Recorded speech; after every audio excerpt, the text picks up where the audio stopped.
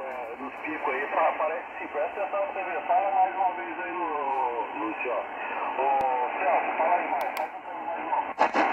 Eu, eu desliguei o processador agora, tá? Porque eu tinha ouvido bem melhor que o processador.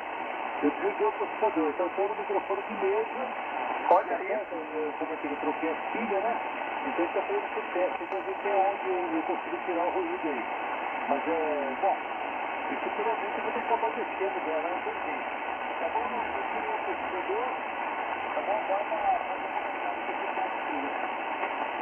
Ah, sim, agora não apareceu nenhum.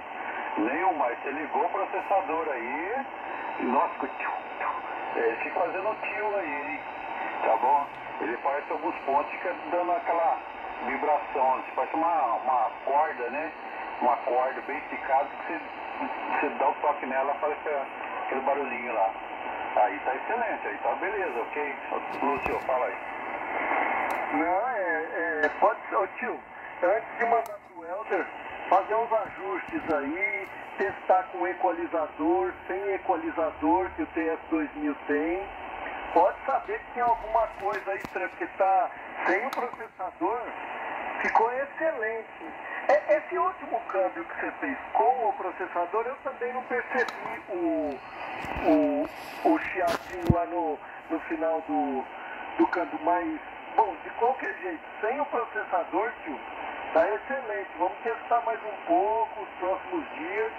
A gente vai vendo esse MT-60 sem o processador, tá bom, tio? Ah, beleza. Oh, então, o oh, oh, Luiz, quero fazer você correr da semana aí, Luiz, eu vou ver se um da filha aguenta.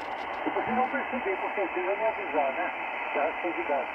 E eu, eu zerei o processador, agora vou fazer mais um teste, viu, Nunes Lúcio aí. Eu vou diminuir, viu, Lúcio? Eu estou com 50%, eu vou deixar ele com 20% só. E ligado para ver o que acontece. Tá certo? No próximo câmbio eu já falo, hein? Só processador com 20% só, tá bom? Fala aí, Nunes.